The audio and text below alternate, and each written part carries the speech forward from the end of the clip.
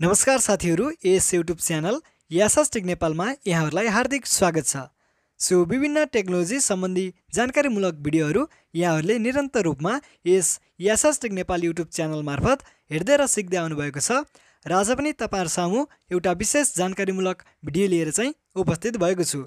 र आजको यस भिडियोमा चाहिँ मैले तपाईँहरूलाई बारकोड र क्युआर कोडको बारेमा चाहिँ एकदमै डिटेलमा जानकारी दिनेछु। खासमा चाहिँ बारकोड र क्युआर कोड भनेको के र यस बारकोड र क्युआर कोडमा चाहिँ के कस्ता भिन्नता रहेका छन् यस बारेमा रहेर आजको यस भिडियोमा मैले तपाईँहरूलाई बताउनेछु त्यसैले साथीहरू आजको यस भिडियो एकदमै महत्त्वपूर्ण छ।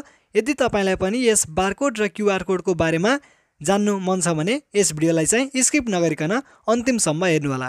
र यस्तै खालका जानकारीमूलक भिडियोहरू यहाँहरूले चाहिँ निरन्तर रूपमा आगामी दिनमा पनि हेर्न चाहनुहुन्छ भने हाम्रो यस युट्युब च्यानल यासस टेक नेपाललाई सब्सक्राइब गर्न भने नबिर्सनुहोला र साथै छेउमै रहेको बेलायकनलाई पनि प्रेस गर्नुहोला जसले गर्दा हामीले अपलोड गर्ने नयाँ नयाँ भिडियो चाहिँ तपाईँबाट मिस हुने छैनन्।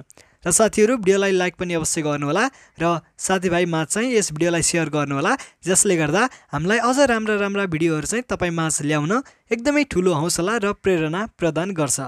र साथीहरू अब भने हामी ढिला गर्दैनौँ आफ्नो भिडियोको विषयवस्तुतर्फ नै लाग्छौँ।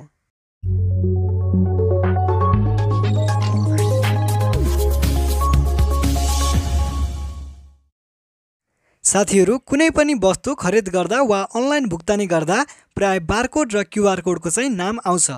यसलाई चाहिँ स्क्यान गरेपछि भुक्तानी तुरुन्तै गरिन्छ। तर के तपाईँले चाहिँ कहिल्यै सोच्नुभएको छ कि डिजिटल युगमा यो कार्यलाई चाहिँ सजिलो बनाउने यी बाङ्गा टिङ्गा देखिने कोडहरू या भनौँ बारकोड र क्युआर कोड कति महत्त्वपूर्ण छन् त? उनीहरूको लोकप्रियताको कारण पनि यही हो। र यी दुई कोडहरू उस्तै देखिन सक्छन् तर दुवैको काम चाहिँ फरक छ र तिनीहरूमा चाहिँ धेरै भिन्नता छ। र अब भने हामी तपाईँहरूलाई यस बारकोड र क्युआर कोड बारे चाहिँ सम्पूर्ण जानकारी चाहिँ दिनेछौँ। सुरुमा हामी हेरौँ बारकोड भनेको के हो त। साथीहरू व्यापारिक प्रयोजनका लागि बारकोडको प्रयोग सन् उन्नाइस सय चौहत्तरमा चाहिँ सुरु भएको थियो।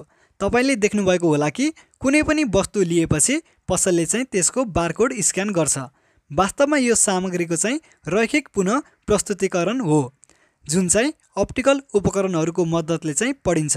बारकोडको मद्दतले चाहिँ कुनै पनि वस्तुको बारेमा चाहिँ पूर्ण जानकारी चाहिँ उपलब्ध हुन्छ र यो कोड स्क्यान गरेपछि यसको मूल्य उत्पादन मिति जस्ता धेरै जानकारी चाहिँ पाउन सकिन्छ।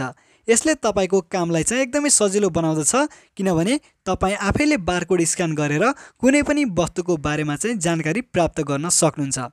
र साथीहरू यो थियो बारकोडको बारेमा।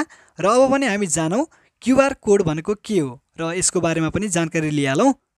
साथीहरू क्युआर कोडको पुरा रूप हो क्विक रेस्पोन्स कोड। नामले सुझाव दिन्छ कि यसले चाहिँ एकदमै छिटो काम गर्दछ।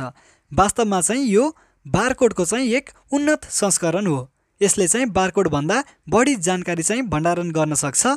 यो कोडले चाहिँ अनलाइन भुक्तानी र मानिसहरूको चाहिँ जीवन एकदमै सजिलो बनाएको छ। यदि तपाईँ चाहिँ आजभोलि नगद बोक्नुहुन्न भने यो यसको सबैभन्दा ठुलो कारण हो। आजकल चाहिँ पसलदेखि अर्को व्यक्तिसम्म प्रत्येक व्यक्तिसँग चाहिँ क्युआर कोड हुन्छ जसको मद्दतले गर्दा उसले चाहिँ सजिलै अनलाइन भुक्तानी गर्न सक्दछ। क्युआर कोड चाहिँ उन्नाइस सय चौरानब्बेमा चाहिँ सिर्जना गरिएको थियो। यो चाहिँ पहिलोपटक अटोमोबाइलको स्पेयर पार्ट्स स्क्यान गर्नको लागि बनाइएको थियो। यसलाई चाहिँ पढ्नको लागि विशेष रूपमा डिजाइन गरिएका मोबाइल एपहरूद्वारा मात्र पढ्न सकिन्छ। अनलाइन भुक्तानी गर्दा व्यक्तिको नाम उसको व्यवसायको नाम ब्याङ्क खाता नम्बर लगायत धेरै जानकारीहरू चाहिँ क्युआर कोडमा चाहिँ भण्डारण गरिन्छ र यसको मार्फत चाहिँ हामीले सजिलैसँग स्क्यान गरेर विभिन्न जानकारीहरू चाहिँ प्राप्त गर्न सकिन्छ र यो विशेष गरी चाहिँ अनलाइन भुक्तानी गर्नको लागि चाहिँ प्रयोग गरिन्छ। र साथीहरू यो थियो आजको यस भिडियोमा।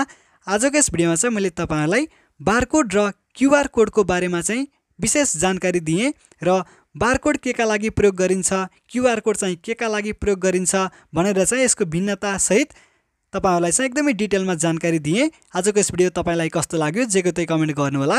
र यस्तै खालका जानकारीमूलक भिडियोहरू आगामी दिनमा पनि हेर्न चाहनुहुन्छ भने हाम्रो यस युट्युब च्यानल यासस टेक नेपाललाई सब्सक्राइब गर्न भने नबिर्सनुहोला।